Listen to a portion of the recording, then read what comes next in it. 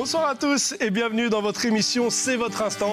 Cette semaine, nous revenons sur le feuilleton de la semaine. Comme toutes les semaines, un chapiteau de cirque. Et cette fois-ci, on a suivi. Il s'est installé à Bourail pendant une semaine. Leur ambition divertir les enfants des classes qu'ils accueillent. La compagnie Crunk a l'ambition, euh, par la pratique du cirque de planter une graine de créativité dans chaque enfant. Nous les avons suivis de la confection de leur instrument au spectacle de fin de semaine réalisé devant les parents. Et pour en parler, euh, Benoît Bujon, circassien et animateur du projet, est avec nous pour en parler. Mais avant d'en parler ensemble, on va regarder le premier extrait pour se mettre dans l'ambiance. On regarde. Essayer de leur faire comprendre que la musique, c'est pas euh, chacun dans son coin et que c'est tous ensemble. Ça, ça. Ça, tu rajoutes, c'est ça. Ça, ça, c'est ça. Très bien, les enfants, on garde ce rythme. Celui avec euh, le krog, ça s'appelle. Et ben, il doit taper avec les claquettes. euh, et après, chacun, on fait un rythme avec nos instruments. Et après, ça fait une musique, elle est sympa. Au moins, on s'amuse et ça nous fait découvrir des choses. Euh, Par exemple, le partage. par exemple, faut un peu d'adresse aussi pour les objets du cirque. Et après, en machinerie, ce qu'on peut faire avec pas grand-chose. Bon, il a tout dit, Maëtis, c'est un peu votre chargé de com, quoi. C'est vrai. Il- le partage, l'adresse, la créativité. Euh, c'est le but de votre projet, apporter tout ça aux enfants? Oui, bah, de toute façon, le projet de la compagnie Crunk, c'était vraiment aussi d'apporter le nouveau cirque euh, parmi les enfants par le biais d'ateliers. Donc les ateliers qu'on fait sont vraiment en fonction du spectacle. Dans le spectacle ouf, on retrouve la machinerie, la musique et le cirque, la jonglerie. Et donc du coup, dans les ateliers, les enfants pratiquent tous ces, toutes ces, tous ces ateliers-là. Ok, tu parles de nouveau cirque, ça veut dire quoi? Nouveau cirque, c'est euh, on a la, la forme du cirque traditionnel, euh, le cirque Zavata, Pinder, tout ce que vous voulez. euh, cirque des Samois, pour les gens qui connaissent en Calédonie, c'est du cirque traditionnel. Et après, dans l'ère du temps, quand le contemporain a pris un peu plus de place, on a appelé le cirque contemporain, où du coup on n'a pas d'animaux, tout ça, si, pour expliquer facilement. D'accord. Et nous, on fait du nouveau cirque où euh, on mélange vraiment, tout est sur scène. La musique, le- les techniciens, la machinerie, euh, le circassien, tout est sur scène mélangé. Et on met ça dans une case, on va dire, euh, qui s'appelle le nouveau cirque. D'accord. Et c'est ça que du coup vous transmettez aux enfants? Tout à fait, on transmet euh, ça euh, toute la semaine euh, aux enfants sur les différents ateliers. Euh, pour bien expliquer, en fait, le, le projet pédagogique, il est établi d'une certaine manière. Les enfants découvrent déjà tous les ateliers, et après, le, mardi ma- le lundi, et le mardi matin, ils voient le spectacle. Et du coup, là, ils se disent, ah oui, d'accord, ok, on va faire tous ces ateliers-là, mais eux, ils ont tout mélangé. Donc le spectacle, votre spectacle. Ouais, le, spectacle de la compagnie. Ouais. C'est ça. Parce que dans le projet, on fait les ateliers, on joue le spectacle aussi en pour les scolaires, donc on accueille plein d'autres classes. Et on bosse avec trois classes sur les ateliers. Et après, on accueille, euh, je sais plus, euh, je crois que c'est 15 ou 20 classes euh, de Bourail qui viennent voir le spectacle. Ok. Alors retour sur le projet d'atelier. Ouais. Plus pour les, pour les enfants, comment il est né ce projet? Ça a Alors, forcément un lien est- avec le spectacle, du coup. Ouais, il est né. euh, moi, j'aime bien travailler avec euh, une immersion totale. Euh, avec l'association de chapiteaux de Nouvelle-Calédonie, il y a quelques années, j'ai mené un projet d'un plus petit chapiteau, mais qu'on mettait carrément dans l'école. Et du coup, bah, les enfants étaient en immersion totale avec le petit chapiteau posé. Et, du coup, euh, ils venaient faire des ateliers, ils repartaient en classe, ils revenaient faire des ateliers.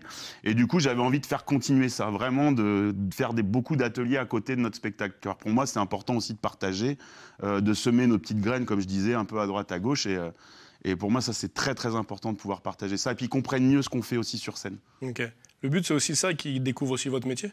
Ouais, tout à fait. Puis dans le métier du spectacle, il y a, il y a un panel de métiers, en fait. euh. D'accord. Le- L'objectif, c'est aussi de leur apprendre autrement certaines choses? Ouais, ah bah après, chacun euh, choisit euh, sa pédagogie. Moi, par rapport au cirque, j'amène l'enfant dans l'apprentissage de différentes disciplines de jonglerie euh, et d'équilibre. Mais après, j'écoute beaucoup le choix aussi de l'enfant. Mhm. Euh, parce que je suis pas là pour faire des stars de. euh, des, que les enfants deviennent des stars. Je suis là pour qu'ils passent un bon moment avec moi, qu'ils découvrent euh, la discipline du cirque, les disciplines du cirque. Donc, euh, du coup, je veux pas en faire des, des grandes stars qui partiront ou quoi ailleurs. J'ai une pédagogie sur le- les jeux du cirque et de la rue, j'appelle ça. Et euh, c'est vraiment euh, englober euh, le cirque dans des jeux, de l'amusement, mais en fait, tout d'un coup, ils se retrouvent sur scène et puis ils font quelque chose euh, de ouf. Vraiment, non mais il y a des enfants qui savaient pas faire, euh, qui savaient pas jongler euh, en arrivant sous le chapiteau et qui se retrouvent devant leurs parents à faire euh, euh, cinq, cinq figures au diabolo et que ça tombe pas et ils saluent, ils sortent de scène et, voilà, enfin c'est impressionnant pour. euh, On, on le verra dans le dernier extrait, l'extrait qui est passé ce soir dans dans le JT. Alors du coup, qu'est-ce qu'on apprend pendant ces ateliers? Les explications avec deux enfants, Ryan et Erwan. On regarde. Remets. Alors en premier là on va couper pour euh, faire euh, beaucoup plus Pour de- les ajuster un peu plus.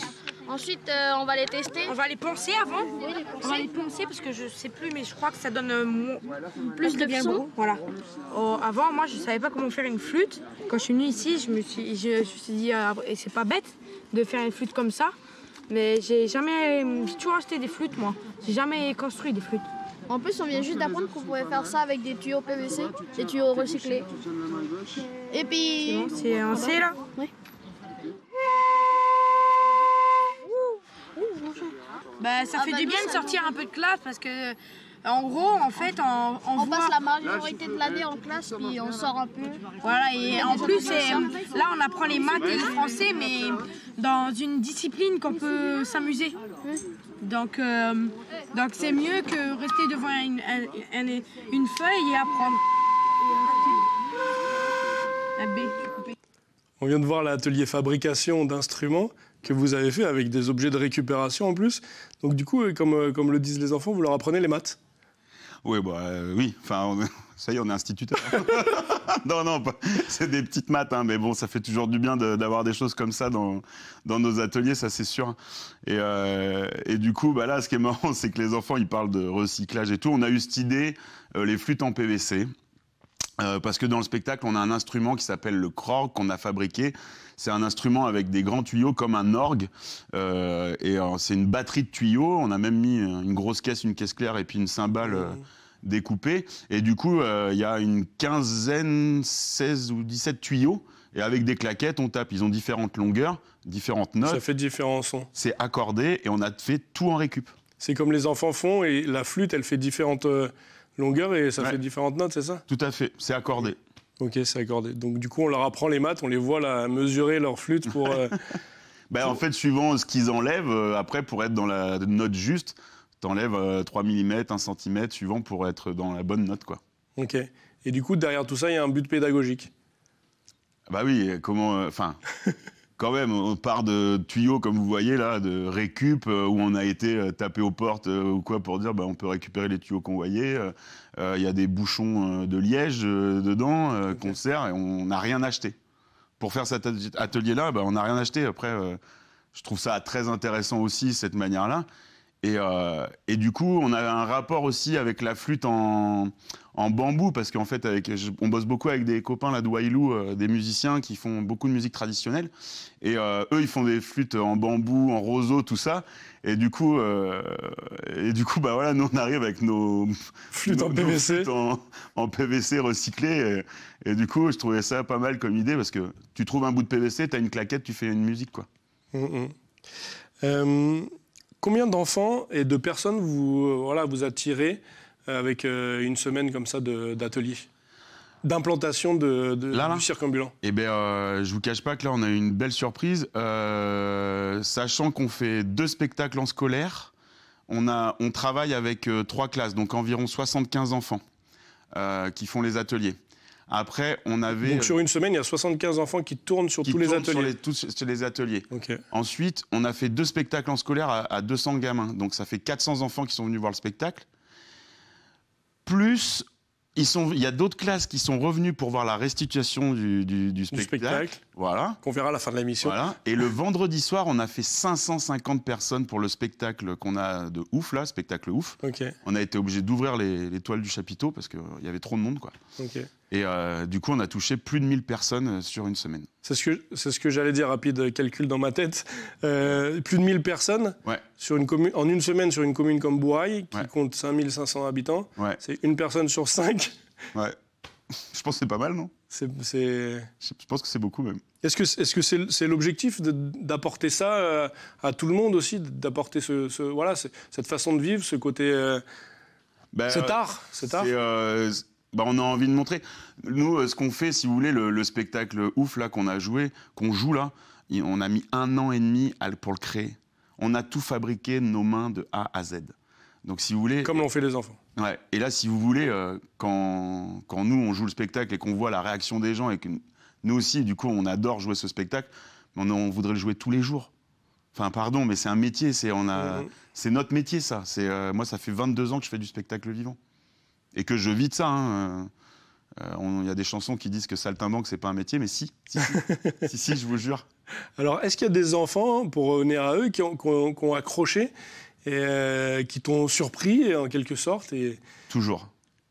Il y a toujours, toujours, toujours des enfants qui te, qui te surprennent, qui en ont jamais fait et puis euh, qui sont capables de, de te faire. euh, c'est, des fois, c'est, rien, c'est un petit déclic, c'est que ce soit en musique, en construction. Euh, Flo, Ludo, qui sont, euh, qui sont avec nous là sur le projet. euh, et des fois, ils disent Oh là là, il y a un, lui et lui, oh là là, super. Enfin, il y a forcément des déclics dans chaque discipline. Ok, Ah ouais. Et des fois, des très grosses surprises, ouais. d'accord. Ah ouais, il y a des enfants, j'ai limite envie de leur donner un, un diabolo pour qu'ils repartent chez eux, qui, qui bossent, euh, parce qu'ils accrochent euh, vachement à certaines disciplines, ils accrochent beaucoup. Ok, bah justement, ça tombe bien que tu me parles de Diabolo, parce qu'on va, on va parler et on va en voir tout de suite du Diabolo avec, euh, voilà, c'est Leka qui l'a bien adopté, on l'écoute.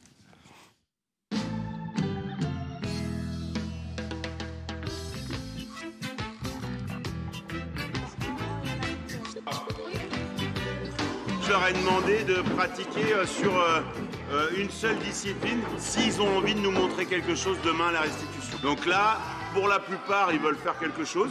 Et là, c'est l'équipe plus cire qui travaille, bah, chaque enfant en fait travaille la discipline qu'il a préférée.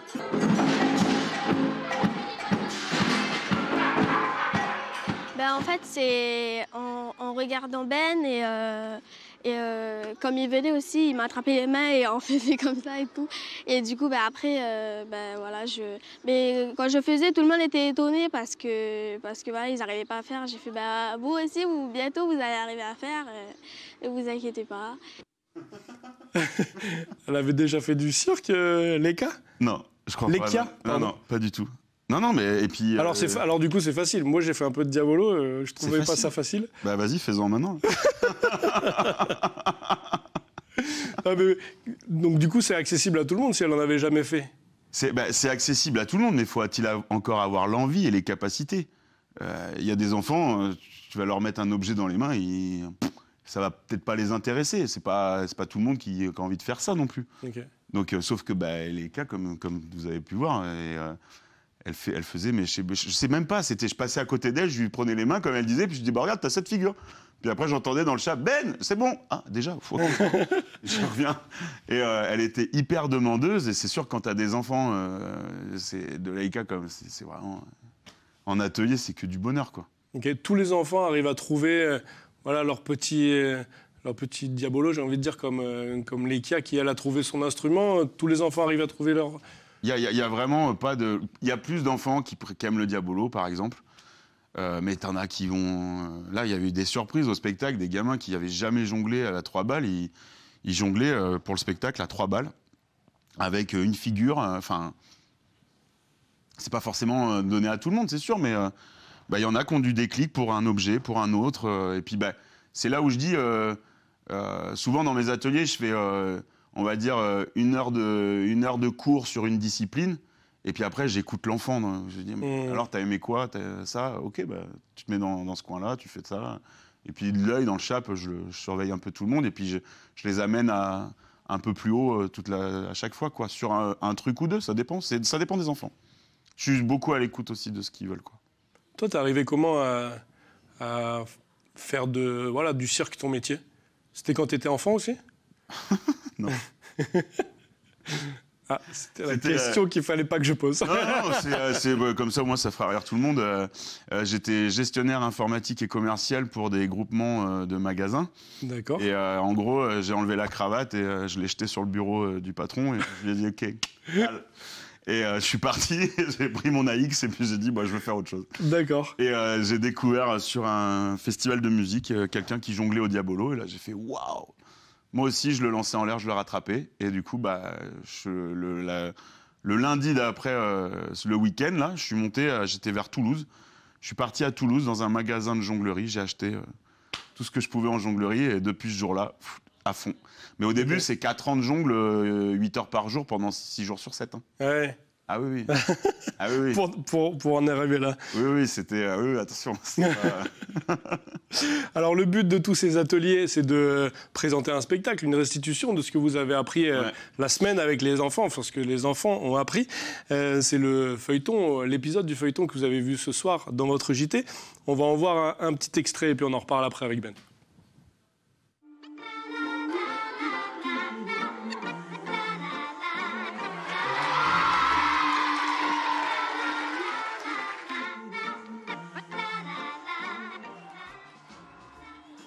Essayé plusieurs techniques. euh, Il y, en a- il y en a certaines que j'ai pas trop réussi, mais ça fait toujours le coup. Ça va? Être track? Non, ça va.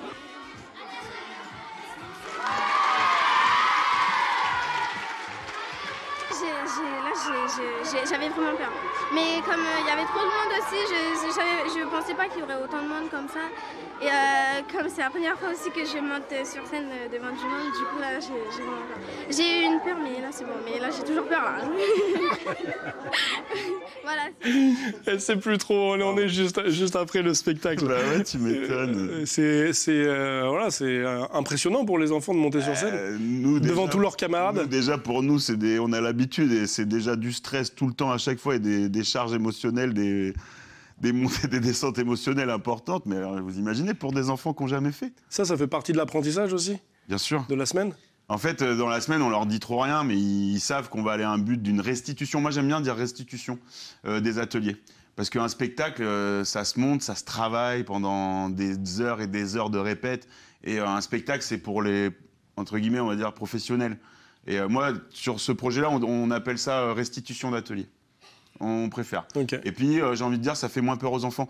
Là, euh, enfin, on n'a pas tout, mais euh, il y a des enfants qui n'ont pas, pas voulu monter sur scène, qui avaient vraiment trop peur. Mmh. Il y en a qui sont montés sur scène et arrivés devant les gamins se sont mis à pleurer. Ouais. D'accord? Non, mais c'est qu'il faut, faut comprendre aussi que ces gosses, là, ce qu'ils ont fait, déjà, c'est énorme parce que c'est euh, vraiment des grosses charges émotionnelles. En 4, 5 jours, on fait des ateliers, puis tout d'un coup, on se retrouve sur la scène devant tous les copains. C'est, euh, Moi, je leur, je leur laisse le choix. D'accord? Ça veut dire que sur une classe de 20, 25 gamins, ah, franchement, il y en a peut-être deux qui le font pas, quoi. Allez, trois. Donc, euh, je préfère leur laisser le choix, quoi. Ok.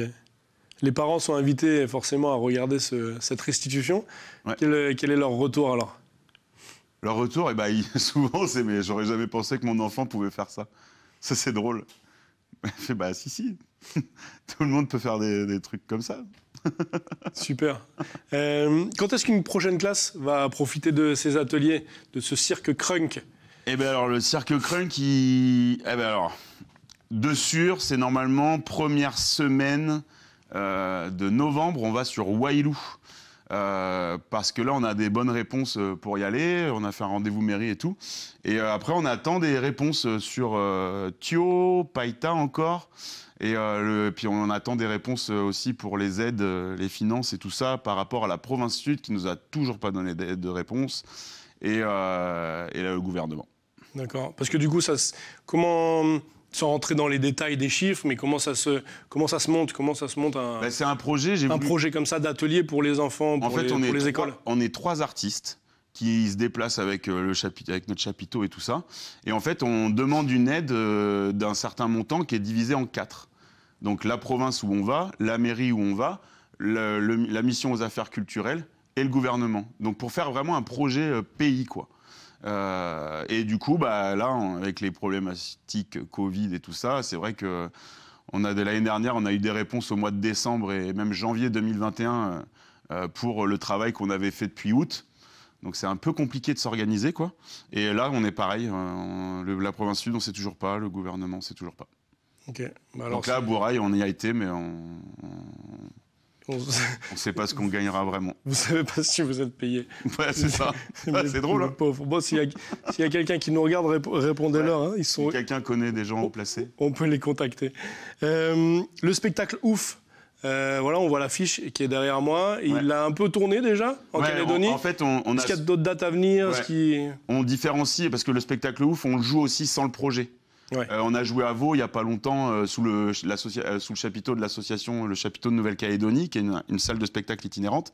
Et du coup, on joue aussi, on va peut-être jouer chez eux encore après. Et là, on va au Château Hagen le 10 juillet à Nouméa. Après, on a une soirée privée sur La Foi. Et après, on fait un remplacement. On a vu sur la vidéo Flo qui part. Et c'est Pierrot qui est aussi sur la première vidéo du premier jour. Euh, Pierre Canet qui va remplacer, qui, euh, qui prend le poste de Flo dans le spectacle et dans les ateliers. Donc il est déjà avec nous pour entamer cette euh, transition. Ok, alors ce nouveau cirque, ce spectacle ouf, fais-nous un petit pitch rapide de ce spectacle. On est des déjantés. c'est un, un bel univers entre hum, machinerie, musique, jonglerie, manipulation d'objets. Euh, c'est un spectacle euh, ascenseur émotionnel avec euh, qui fait peur aussi. C'est peut-être euh, qui peut faire peur un peu peut-être des fois. Et euh, c'est un, Peur- peur c'est à un quel spectacle niveau à voir. Faut venir voir.